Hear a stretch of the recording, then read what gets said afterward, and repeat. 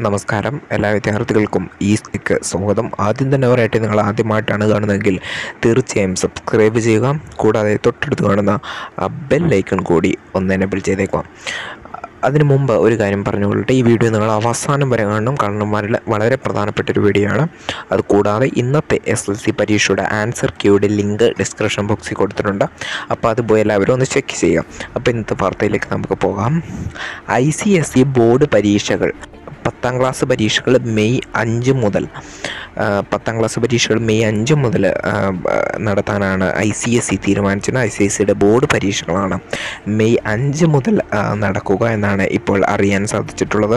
ഇത് സംബന്ധിച്ച് കൂടുതൽ വിശദാംശങ്ങൾ വരേണ്ടതുണ്ട്. ഐ സി എസ് സിയുടെ പരീക്ഷയാണ് മെയ് അഞ്ച് മുതൽ നടക്കുക. അല്ലാതെ നമ്മുടെ കേരള ബോർഡ് എക്സാം കൃത്യമായ ഡേറ്റിൽ തന്നെ നടക്കും. ഒന്നും കൂടി വിശദമായി പറയൂ. പത്താം ക്ലാസ് പരീക്ഷകൾ മെയ് അഞ്ച് മുതലും പന്ത്രണ്ടാം ക്ലാസ് പരീക്ഷകൾ പന്ത്രണ്ടാം ക്ലാസ് പരീക്ഷകൾ ഏപ്രിൽ ഒമ്പത് മുതലായിരിക്കും. നന്ദി.